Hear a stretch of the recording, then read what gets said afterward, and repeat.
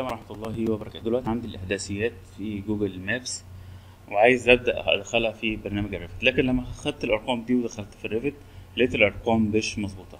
طيب أنا هنا حددت المكان بتاعي اللي أنا عايزه وادانا أهي الإحداثيات. تمام؟ أهو. طيب هاخد بقى الأرقام ديت.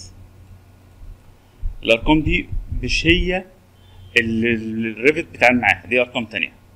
هعمل إيه؟ هدخل على الموقع دوت. الموقع ده هيحول لي الأرقام اللي أنا باخدها من Google Maps.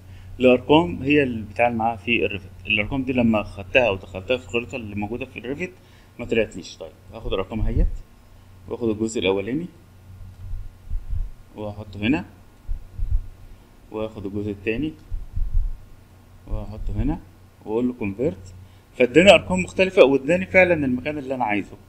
فهاخد الرقم دوت. وأروح رايح لبرنامج ال Revit ومن Manage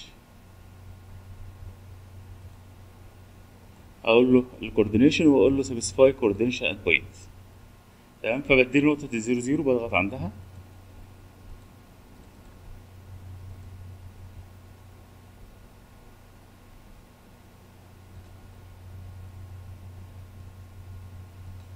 فباجي هنا أقول له specify coordination point وبحدد نقطة موجودة عندي. هي دي النقطة اللي أنا عايز اديله الرقم بتاعها. فأقول له ده ال north وبعد كده هرجع ليه ديت. واخد آه ال north وال easting عشان ما دي إيه؟ هنا عايز ال northing. خلاص هديله هنا ال northing. ده ال northing.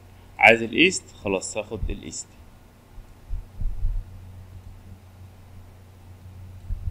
وتبدأ تكتب الارتفاع بتاعك اللي أنت عايزه. وتقول له okay هو كده ظبط النقطة بتاعتك على طول. طيب خلينا نفتح ال location وبرضو هديله نقطتين هديله نقطتين هنا بقى. النقطتين اللي إحنا خدناهم من Google Maps على طول من غير ما نحولهم لو حطيتهم هنا في الخريطة وقلت له search هيفهم وهيديني zoom على المكان اللي أنا عايزه. تمام؟ okay ده لو أنت عايز تحدد ال location دوت.